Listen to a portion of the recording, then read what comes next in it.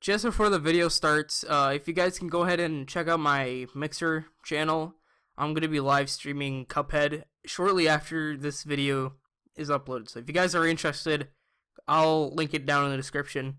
You guys can check it out. You know what they say, be there or be square. what is going on guys, SpetzGhost here. I'm finally back for a brand new video for you guys today.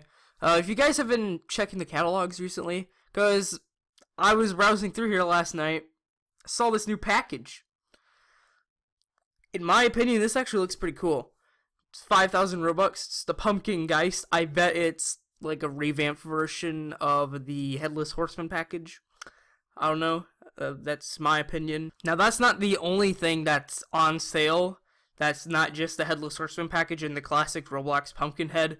There's also a bandana, orange beanie with the black hair, and a new limited that came out, and it's 250 Robux, and it's gonna be apparently it's gonna be limited unique. There's I'm guessing it started out as a hundred thousand, but right at the moment it's 87,318. So if you have 250 Robux lying around, you can go ahead purchase that.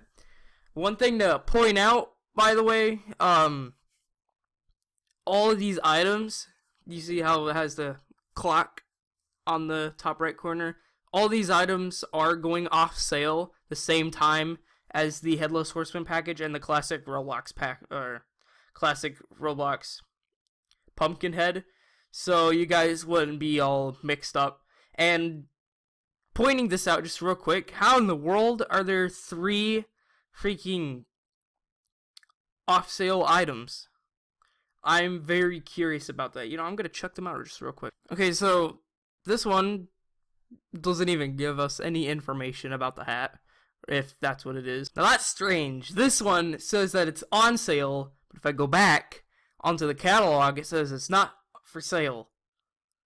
Pick up your mind for crying out loud.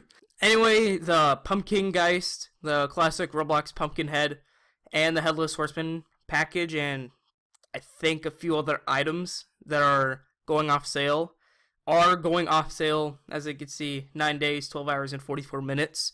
They're the same for all the other hats and gear I should say.